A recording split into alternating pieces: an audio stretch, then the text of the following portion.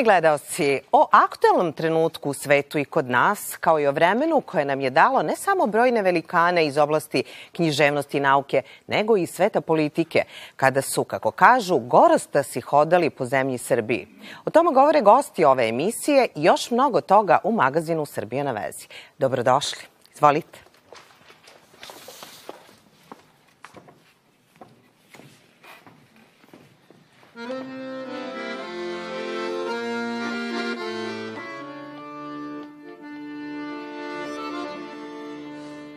Da li čuješ, mila, moga konjaka? Da li čuješ sa planina, zove te moj glas? Zasviraše trube, završi se boj, Zvona zvone, zora sviće, vraćam se rode moj. Aj pa, pukni zoro, staru majku probudi, pa da vidi ko joj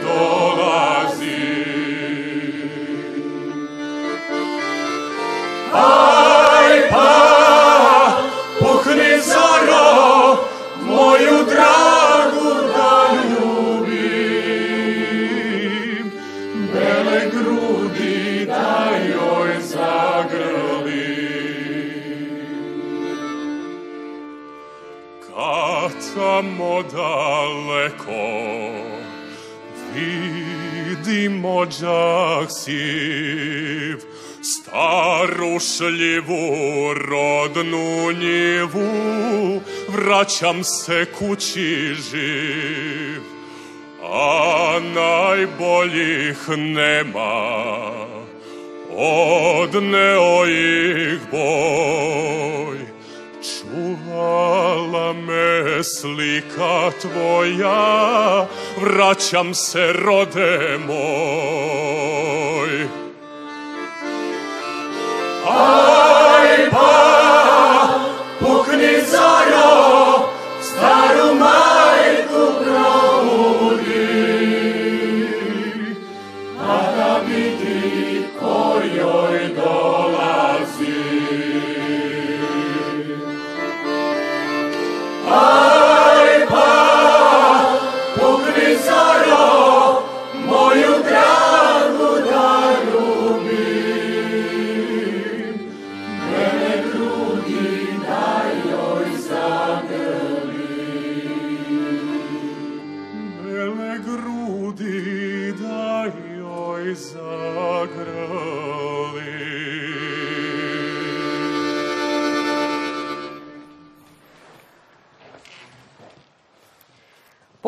Zoro, po mnogima najlepšu srpsku pesmu za sve vas uživo u našem studiju otpevao je hor udruženja Kraljica Marija. Dobro nam došli. A sa nama je i profesor dr. Dragan Simeunović sa Fakulteta političkih nauka, međunarodni ekspert za terorizam. Dobro nam došli, profesore. Hvala. Ja ću samo probati da naborim a, neke od segmenata gde ste vi a, član a, dragoceni, je li tako? Pa ste između ostalog i u Evropskoj komisiji za bezbednost u Briselu. Tu ste i u direktoratu za migracije, ekspert za bezbednost.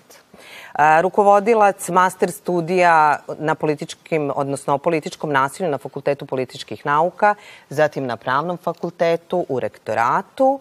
Nedavno ste bili gost italijanskog parlamenta po pozivu, što je naravno velika čast. E, govorili ste o islamskom radikalizmu na Balkanu. Član Evropske akademije nauka, među kojima su i 37 Nobelovaca. Svaka čast. Hvala. Šta kažu, e, bili ste u italijanskom parlamentu, da li možemo da kažemo da smo i dalje najbezbednija zemlja u regionu? To Na nam je negde najvažnije. Na sreću možemo da kažemo da smo trenutno da uživamo u jednom velikom dobru, a to je bezbednost i da m, praktično ni jedna druga zemlja u regionu nema taj stepen unutrašnje stabilnosti i bezbednosti kao što ima Srbija. Tako da, s te strane, ako baš nemamo najviši standard u ovom delu sveta, ali bar imamo najviši stepen bezbednosti, a to je isto tako veliko dobro. Tako je, mislim, dobro opet i velika vest, moramo da yes, kažemo, i za sve yes. nas koji živimo ovde u Srbiji i sve naše koji žive širom sveta. A, vaše studije više puta su proglašene za najbolje u istočnoj Evropi, a rekli smo da ste rukovodilac master studija na Fakultetu političkih nauka, Pravnom fakultetu i rektoratu. A, pa šta je to čime držite zapravo taj nivo? Pa, vi morate kad pravite studije napraviti za nešto. Kod nas uh -huh. se prave fakulteti, recimo, celi na pamet, ne vodeći računa o tržištu praktično. Tako Mi moramo, kad se nešto pravi, pitati se kome to treba i čemu to treba da služi. Jer, nažalost, danas je i školstvo ušlo u zonu tržišta i kad pravite studije iz domena bezbednosti, onda morate praviti nešto što ima veze s ovim regionom, što ima veze sa tradicijom, što ima veze sa mogućim poslom pre svega, oni koji će kad završe jednog dana biti traženi zato što posjeduju takva i takva znanja. Tako. Vi ne možete da pravite nešto što je vama lepo, što vas interesuje, ne pravite vi studije radi sebe, nego pravite da bi bile korisne nekoj instituciji, ministarstvu unutrašnjih poslova, bi ili vojsci. Znači morate napraviti nešto što oni prepoznaju i kažu, e, kad ovo završi neko, on će doneti takva i takva znanja koja će nama na našem poslu biti dragocena. Tako da, znači, tako se to pravi. Profilira se prema potrebama društva e sad, i onda je... i mhm. to je to. Mislim, ako se to tako napravi, onda je u redu. Koliko je onda i polaznika tih master studija kod vas baš od ljudi iz tog sveta bezbednosti koji ste spominjali? Pa, Policije i tako dalje. Pa, uglavnom, Vojske. uvek jedan uh mhm. -huh. određen visoki procenat, oni koji već rade tamo, ali ima i mladi koji nisu zaposleni, koji dolaze da bi tamo radili ili mogu da vlade, rade u nevladinim organizacijama, mogu da rade, u, mnogi rade recimo u jednim nacijama posle ili rade u OEPS-u ili rade recimo odu uh -huh. negde pa u Iraku ili danas mi imamo naše više studente na tim širokim prostorima u mirovnim misijama. Znači, to je jedan uzbudljiv, dobro plaćen posao uh -huh. koji je pritom društveno opravdan. Te stvari koje se rade nikom ne mogu da škode, samo mogu da koriste i to je nešto što protiv čega ne može niko da bude. Jel da, to, su, to su korisne stvari i kažem, treba ih samo dobro izvagati i stalno stalno ih treba doterivati, stalno menjati. Upravo. Znate, mislim, ako se pojavi nešto novo, vi to morate uneti. Ne smete Tako biti je. lenji i samo zadovoljni. terorizma se upravo izučava na najprestižnijim fakultetima Tako na svetu. Znači, ako se nešto, fenomen. neka, pojavi neka novost u borbi protiv terorizma, to su recimo dronovi ubijanje terorista pomoću letilica. Vi to morate, vi morate dovesti čoveka koji će da ispriča studentima, on mora biti najbolji u zemlji ili u regionu ili u Evropi, stručnjak za te dronove, on mora to da ispriča. Ako je o mafiji, morate dovesti čoveka sa Sicilije, profesora koji je rodom sa Palerma, iz Palerma. I, i tako će... vi radite, je li tako? Tako je, i onda vi dovedete gosta gde ne može neki policajac da kaže pa šta ja znam to, ja sam to isto pročitao na internetu. Ne, ovde mu dođe čovek koji je, koji dakle, iskustva prenosi koji je i profesor, je ali je naučio. i sicilijanac i tako dalje. Znači, samo tako možete održavati taj rating. Znači, neprekidnim inovacijama i neprekidnim održavanjem kvaliteta. Profesore, volimo da vas najavimo i kao autora serijala RTS-a Političke ideje u Srba. Naši gledalci su imali prilike da pre nekoliko trenutaka vide e, i delove iz samog tog serijala u kom smo saznali mnogo toga u stvari o gorostacima i sveta književnosti i nauke, kako vi volite da kažete, ali i politike, koji su u to vreme hodali po zemlji Srbiji, reči 18. i 19. veku. Pa ja sam pokušao tim serijalom da uradim ono što mislim da svaki narod treba da radi, a to je da ne dozvoli da padnu u zaborav ljudi iz njegove sredine koji su nešto značili, koji su pomogli da budemo ono što danas jesmo, zato što su još starije truci ostavili na, svojim tablicama zapis da onaj ko ne poštuje svoje mrtve nema budućnost. Da te naprosto ne vaspitava sledeće generacije tako da bi oni bili isto takođe poštovani od svojih potomaka. Znači, e, mi moramo poštovati e, i Dositeja i sve one koji su pali u zaborav i još nešto, osvetliti ih iz nekog drugog ugla. Znate, mislim, to je kao Znate, Skerlić, Skerlić je samo književni kritičar, nam to treba. Međutim, Skerlić je i političar. Ajde da vidimo kako je on to radio. On ima divne kritike uh, tih ljudi, jel da, koji, ovaj, on je to zvao bankokratija, koji ulaze u upravne odbore i tako dalje.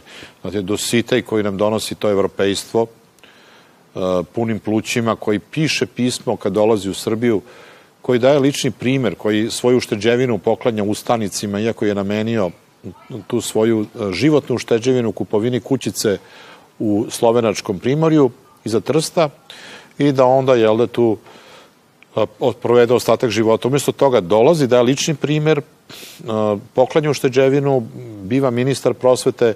Sa samo nekoliko godina do Sitaju Obradović je 34 škole napravio u Srbiji, jednu srednju, jednu visoku, a to je imala cela Mađarska koja je pravila to dva veka. Znate. I to u tadašnjoj Srbiji. I to u uslovima ustanka, znate.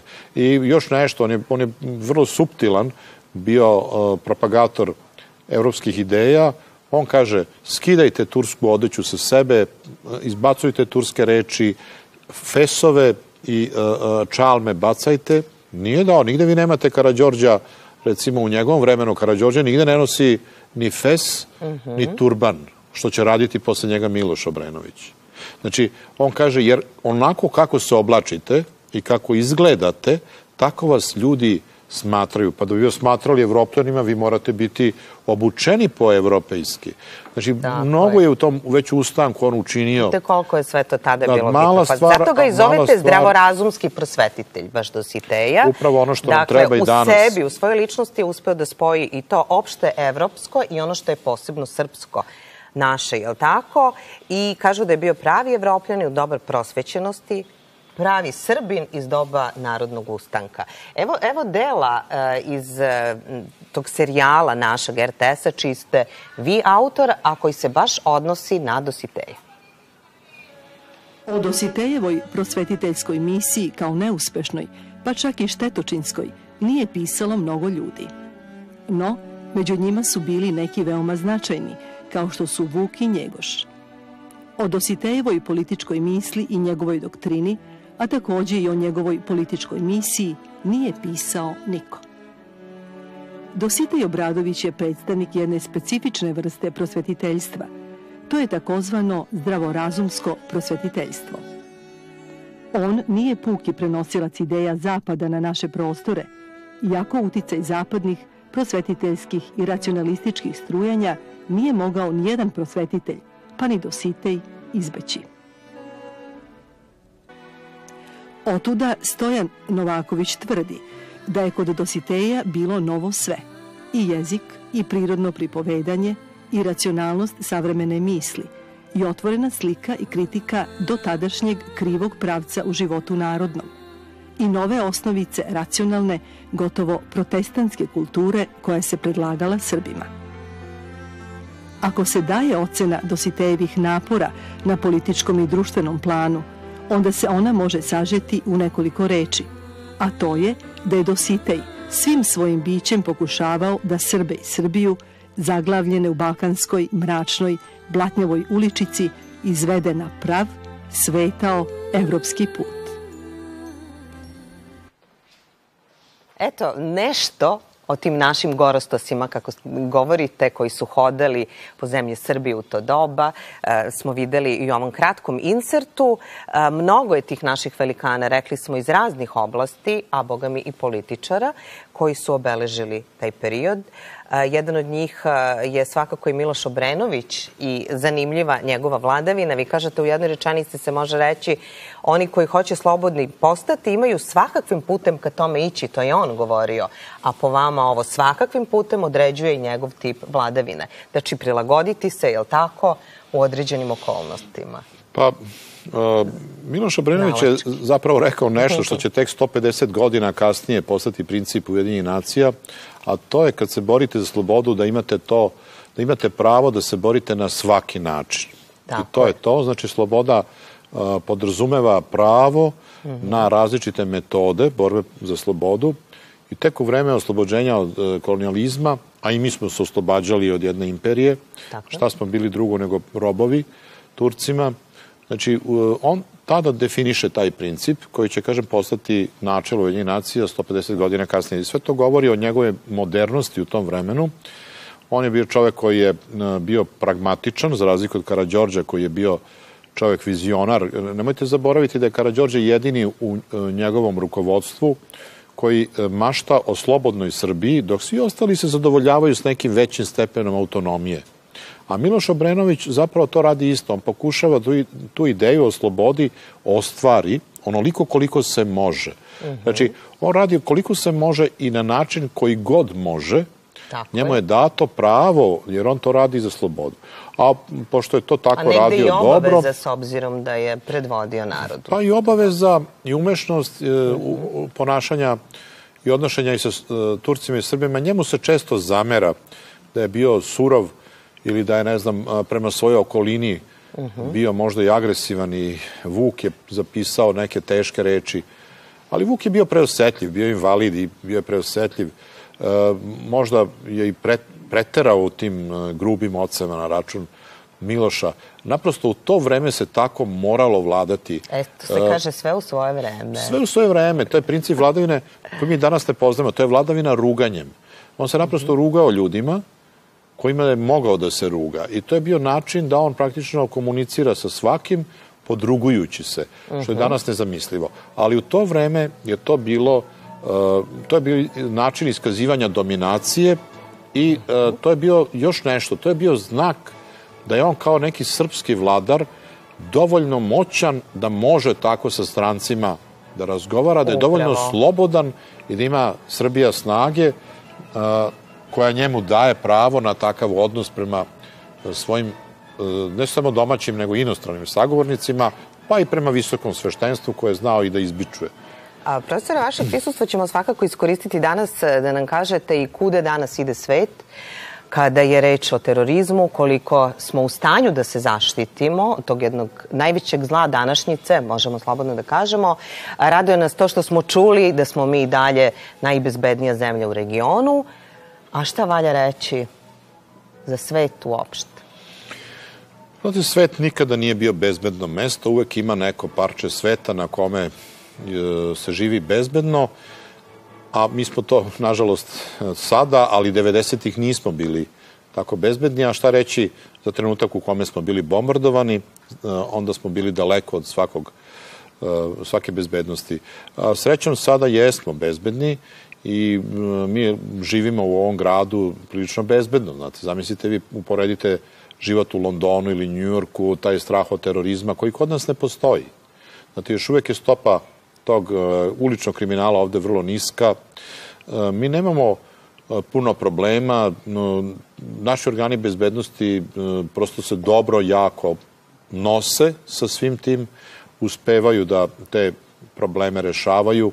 Naravno, narod e, nikad nije zadovoljan, znate, mislim, narod ko narod. tako i normalno Ali i ne prirodno. možete vi rešiti 100% ni u Nemačkoj, koja ima, je. e, ne možete rešiti svaki zločin, međutim, e, procenat otkrivanja zločina, onda prevencija terorizma je na odličnom nivou, pa iz ove zemlje je samo otišlo 28 ljudi da se bori u Siriju ili Irak, a pogledajte iz kad saberete iz regiona Bosnu i. Hercegovinu i Kosovo i Metohiju, to je skoro hiljadu ljudi.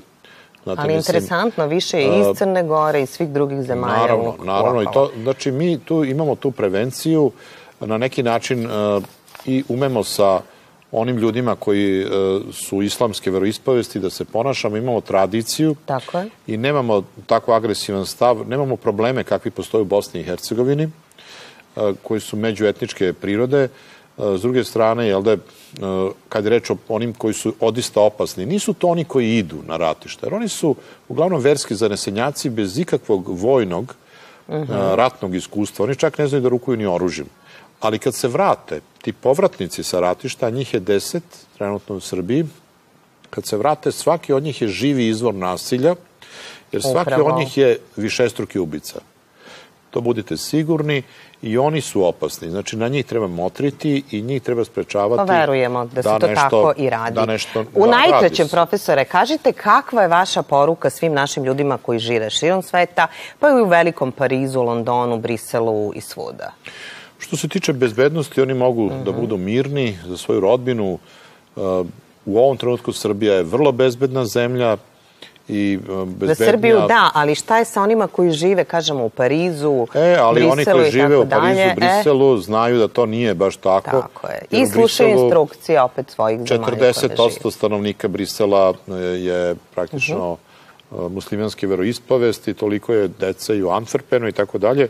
Uh, Mislim da tamo je problem integracije najveći I problem. velika je tema, neispričana tema, u kojoj zaista treba i vremena i vremena Treba će da mnogo posvetimo. vremena i treba će uh, nastojati da se ti ljudi koji tamo žive uh, tretiraju ne samo formalno kao ravnopravni, zato što svaki Arapin u, u Parizu zna da nije ravnopravan. Tako Znate, je. Mislim, on nije suštinski, on je formalno, on je formalno ima pravo Ali na nije sve. ni on kao što nije ni Srbin Tako je. i tako dalje, Tako svi, je. sve ostale On nacije. je čovek drugog reda i to je ono što ga frustrira i tera u terorizam. Tako je. Nezaposlen je, teže dobija posao, ako vidi neku lepu devojku, teže će se zabavljati s njom. Ne samo što je nezaposlen, nego što je druge religije, boje kože i ostalo. Znači, to su neki problemi integracije, zato kažem da to najveći problem iz koga proizilazi nasilje. Jer nije ovo sve što se događa, nije sve terorizam. Iako novine požure da kažu da su u pitanju teroristi, Pa dobro, to je tako najlakše objasniti. islamska država ili Al-Qaida odmah tvrde da su oni to jel, da, organizovali da bi sebe reklamirali, ali nije tako.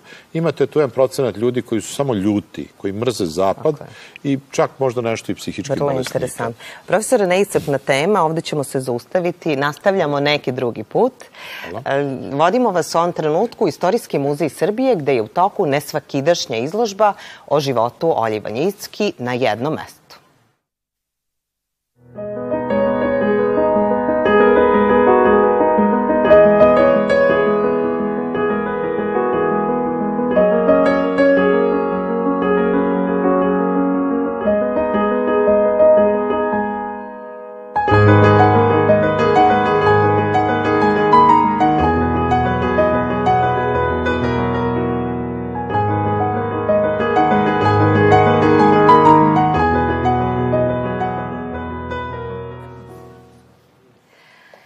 Izložba za ostavština Olje Vanjicki, o njoj kakva je bila, kreativnoj duši koja je čitav svoj život posvetila umetnosti, a jedna od njih koja je možda i najbolje poznavala je naša gošća Suzana Spasić, inače direktorka fonda Olga Olja Ivanjicki. Dobro nam došli. Dobar dan.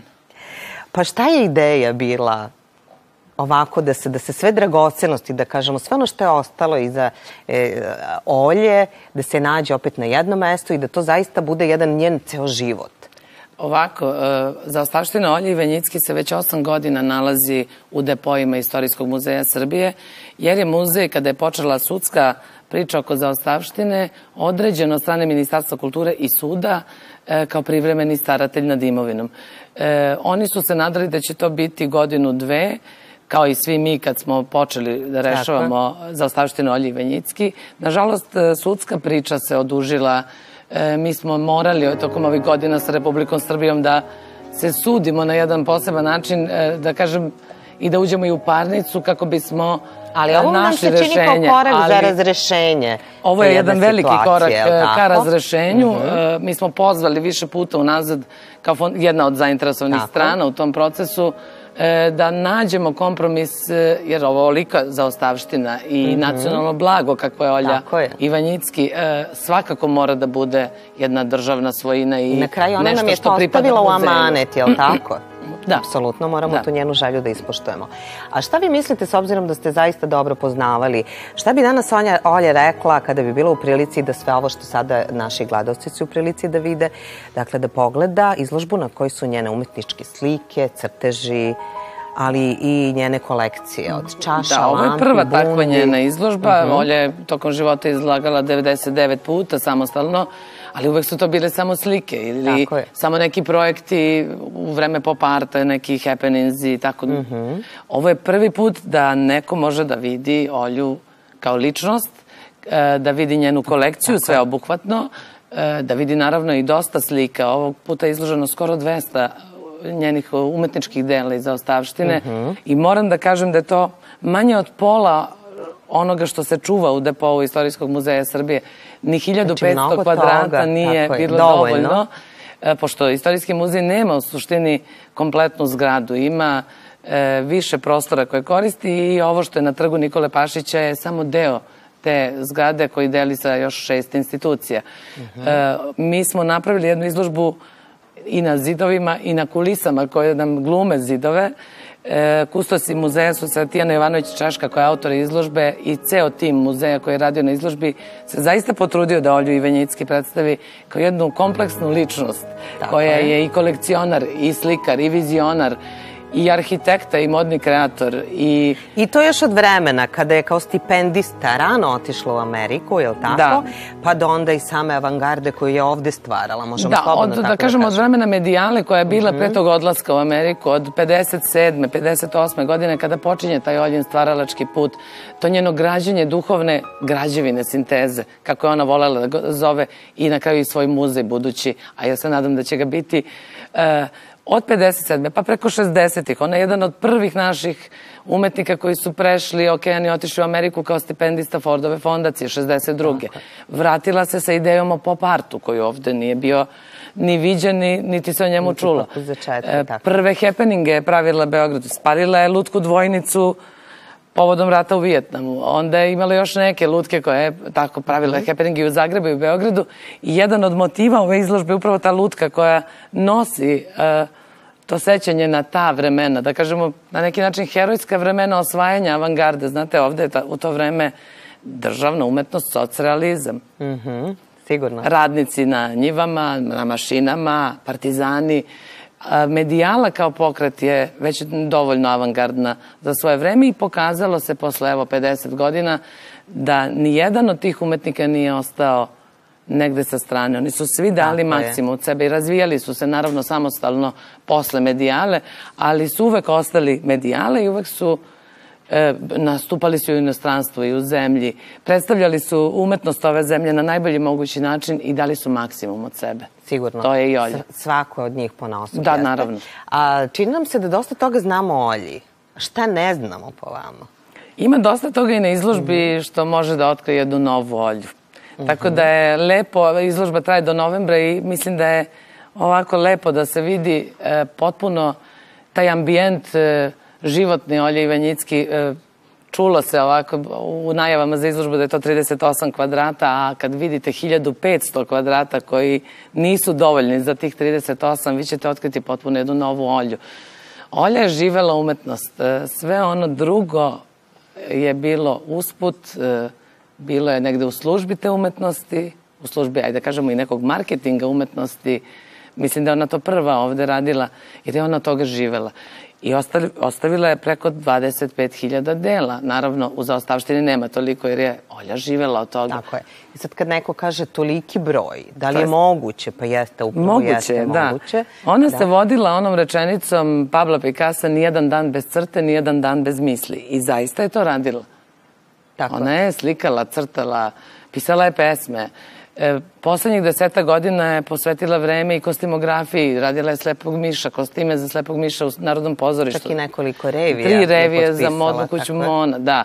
E, Opet o istorijskim ličnostima i Jeste, događajima sa posvećene ovih Tesli. Njegošu. Srpskom carstvu. A zašto Srpskom carstvu? Evo, zato što je pored toga proučavala i filozofiju. I recimo to je nešto što se manje zna. Sedam Tako godina smo Olja Ivanjicki i ja imale privatno časove filozofije. Držao nam je profesor Slobodan Jauković. E, počelo je od Platona pa preko Hegela i upravo je Hegel Vaše Olju, teme, profesore. da, upravo je Hegel Olju Ivanjicki inspirisao da proglasi peto duhovno carstvo. Jer Hegel je. kaže da onaj ko podnese najveću žrtvu ima pravo na duhovno carstvo. I stigao je do četiri carstva. Olja je rekla, ovaj prostor ovde je podneo zaista veliku žrtvu, a ima tako dobre ljude, tako dobre mislioce. I rekla je, ovo je prostor petog duhovnog carstva.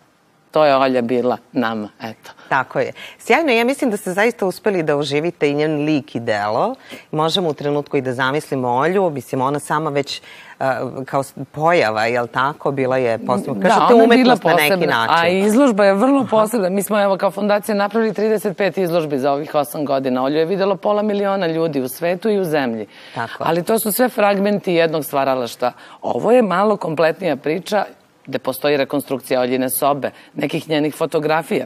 Njenih Tako je. Dakle, jedna prostora. sjajna prilika da, da pozovemo još prilika, ja jednom mislim. sve naše, a, ma kada budu došli u zemlju Srbiju, da do novembra pogledaju, odu do Istorijskog muzeja Srbije, u centru je grada, ne mogu ga Pored zaobići, jel Skupštine. Tako, Tako, je. da ne mogu ga zaobići, a velika je priča i prvi put tako mogu da sagledaju jednog umetnika. Da, hvala vam na ovom izložbi u svakom slučaju. A naša gošća, mezzo-sopran Ana Sinicki od Yale univerziteta u Americi, gde je magistrirala opersko pevanje, a zatim nastupala širom sveta sa poznatim muzičarima i orkestrima, pa do promocije albuma Mi Alma u Skupštini Beograda, gde je predstavila 13 novih numera. Ana, do- dobro nam došli. Hvala, bolje vas I od ovih eh, 13, vaših je 11 autorsko delo. Prvi put se pojavljujete i kao tekstopisac i kompozitor. Tako je, tako je. Pa, e, meni je e, od uvek bila želja da snimim Mhm. e, jedan CD koji će biti prelaz u popularnu muziku. Dakle, spoj klasične i popularne muzike. E, to je nešto što je osobenost Tako je, da, ovo je nešto novo što još niko nije radio, posebno u novim prostorima. Um, to je CD koji u sebi sadrži različite žanrove, one žanrove koje ja od najranijih dana slušam i u svojoj kući, e, u mojoj porodici, e, ono što su mi roditelji usadili kao ljubav prema različitim žanrovima, od španskih e, melodija do Tata ruskih. Rusa, mama Makedonka. Tako je, tako je, da. spoj. Jeste, pa dobro, imam malo Živi i i rade u italijanske. Beogradu, ovde da, kod nas. Jes, ja sam rođena u Beogradu i odrasla ovde, ali pola svog života sam provela u inostranstvu, prvo u Americi, zatim u Italiji, eto sad živim na relaciji Beograd-Milano. A, prosto e, žela sam da, da sve ono što ja volim privatno i da slušam, da spojim u, u ovaj jedan CD e, zajedno znači, sa mojim operskim glasom i simfonijskim zvukom. Naši gledalci su upravo u prilici da vide jedno od tih vaših ostvarenja. Dakle, da. Da, ovo je Tu Amor, pesma Aha. na španskom za koju sam ja napisala tekst, a producent e, i kompozitor e, nekoliko numera mom CD-u Nemanja Antonić napisao muziku. E, Spot smo snimali u Makedoniji. Jako mi je drago eto, da, da sam i u zemlji mojih predaka snimila nekoliko spotova. Sjajno vi to spajate sve, Ana. Da, pa to je Sve tu danas, malom da, ovde u sve Beogradu danas globalno, tako da sam se ja prilagodila tim trendovima. Uh, eto, od Španije, ruskih, ciganskih melodija, uh, to je, to je jedna I sve kompozicija. to pevate na tim jezicima. Tako je, da, na Italijanski, sedam španski. jezika imamo pesama, uh, na A sve engleskom. te jezike i govorite koliko znam. Tako tako da. Pa onda vam je bilo lako. Pa, e, naj, najteže je napisati tekst, a o, već u operi mi učimo kako i da izgovaramo i kako da, da najbolje interpretiramo ulogu na, na nekom stranom jeziku, ali a, za mene je novo, jel, što, pored toga što sam i pevač, što je izvođač na CD-u, što sam počela i da pišem tekstove i kompozicije. Pa sjajno. Da. Evo, ja kažem, naša publika je u prilici sada da vidi deo onoga što je vaše kompletno autorsko. E, Na samom kraju emisije ćemo mi biti u prilici da čujemo nešto što je spoj onoga što vi kažete klasične muzike i onih pesama koje volimo. Tako je, da. Pa, e, eto, e, ovo je pesma koje imam, na CD-u imamo dve obrade.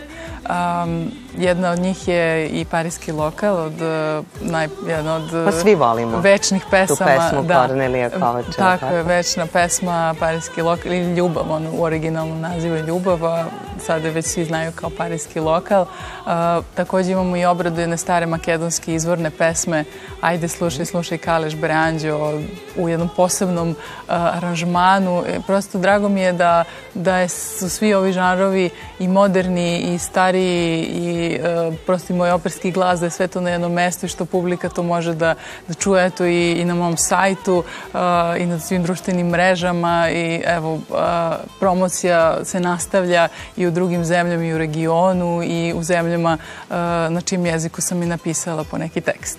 Evo, promocija je, glavna promocija je bila e, samo pre nekoliko dana u Skupštini grada Beograda, Tako. gde su opet e, predstavnici ambasada svih ovih zemalja koje ste nabrajali bili tu, svaka Tako. opet oduševljena na neki svoj način.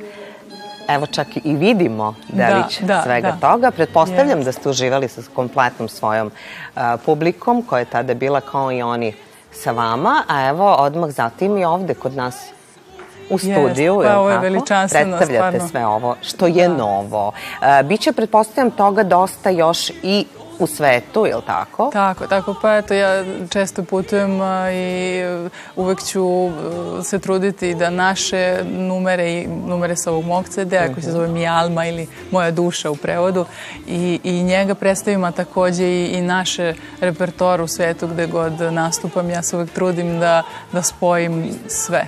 I, Eto, to je naša Da. Ana Sineti. Ana, hvala vam i naravno podržavat ćemo i dalje sve ono što budete radili. Hvala puno. Kako u Srbiji, tako i svuda u svetu.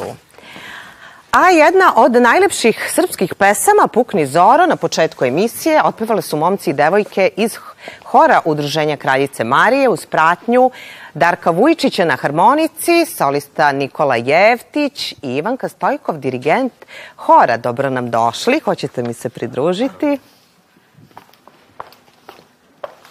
Pa bila vam je čast i zadovoljstvo da otpevate ovu jednu divnu pesmu koja se rado peva svuda. Jeste, jeste, čak je prihvaćena i u vojsci kao himna.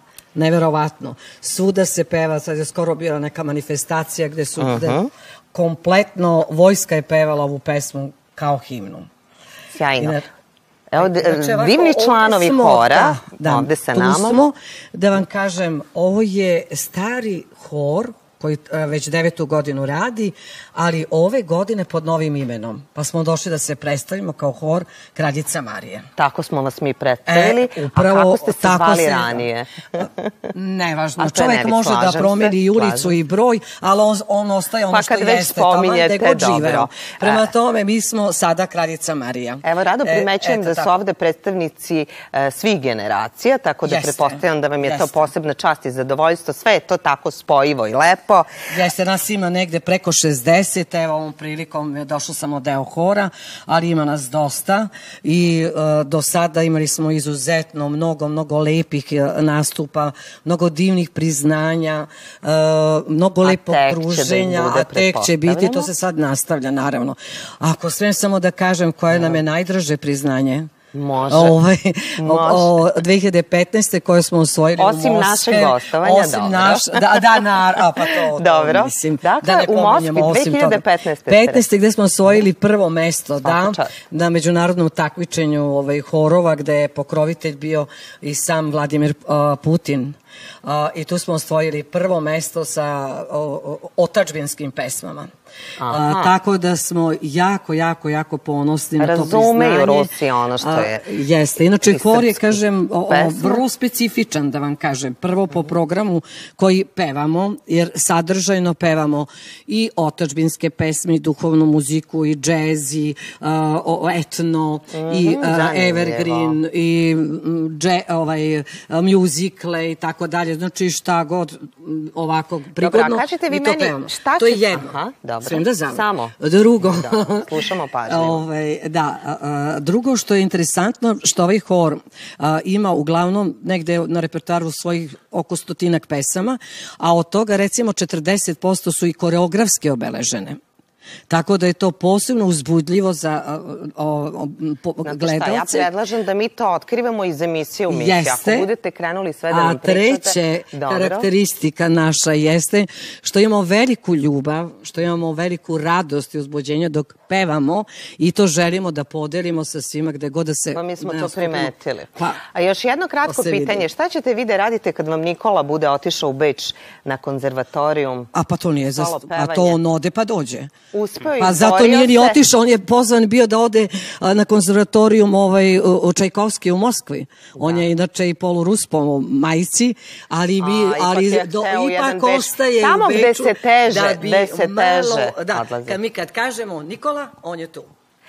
E, pa Nikola, Čestitam vam s obzirom da je to bilo nedavno, jel hvala. tako, sam izbor e, i opet negde ste uspeli među mnogo kandidata iz celoga sveta, prestižni konzervatorijum, E, nastupajte, mi držimo onako palčeve da, da, da očarate i, i tamošnji sveta, tamo je to, nije ni lako, jel tako? Pa nije, ovaj, jedini sam muškarac koji je uspeo da upiše konzervatorijum. To je inače jedan od eh, najprestižnijih konzervatorijuma u Austriji, a i u svetu. Tako da od 100 kandidata jedini sam muškarac koji je, koji je prošao. Pa svaka Da. čast. Eto, lepo smo mi odabrali e, ove goste danas. Hvala vam svima još jednom na učešću ovoj emisiji. Hvala i vama A pre nego što čujemo Anu Sinicki i čuveni parijski lokal, e, da vas podsjetimo da ste gledali emisiju Magazin Srbije na vezi na satelitskom programu RTS-a sredom od 21 sat. Gledate nas obično i subotom u 11.30 na drugom programu RTS-a. Ovoga puta zbog sportskih prenosa biće nešto drugačije, pa ćemo vas naknadno informisati o našem terminu. Inače, gledajte nas i na internet portalu, društvenim mrežama, YouTube kanalu i e, naravno tamo ćete naći našu emisiju Magazin Srbija na vezi. Doviđenja. Ana, izvolite. Jel treba mikrofon? Ne, imate svoj.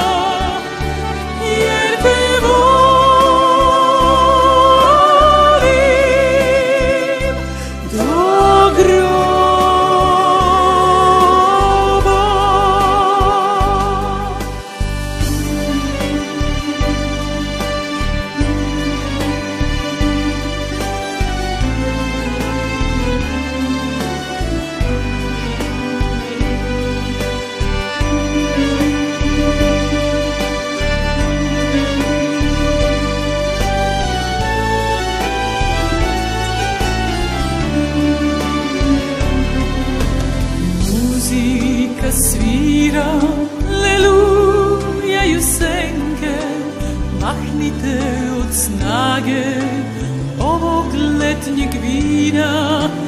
Misli sve su dalje, a samo ja sam ovde, sedim tako sama kao dobra vila. Ja te sanjam